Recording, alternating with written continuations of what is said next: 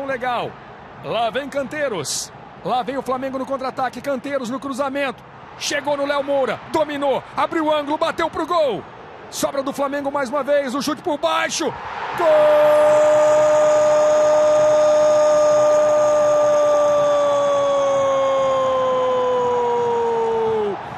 É do Flamengo! Gabriel de novo!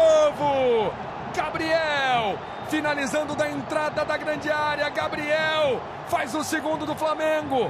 O contra-ataque começou com Canteiros na direita. Ele ganhou espaço, achou Léo Moura no meio. Léo finalizou com vontade, finalizou forte. A sobra ficou com Gabriel. Chute da entrada da grande área no canto. Gabriel. Segundo dele, segundo do Flamengo. Gabriel duas vezes. Dois Flamengo, zero Internacional. Reveja, câmera colocada atrás do gol, no cantinho. Gabriel vencendo o Alisson. 2 a 0. Roger Flores.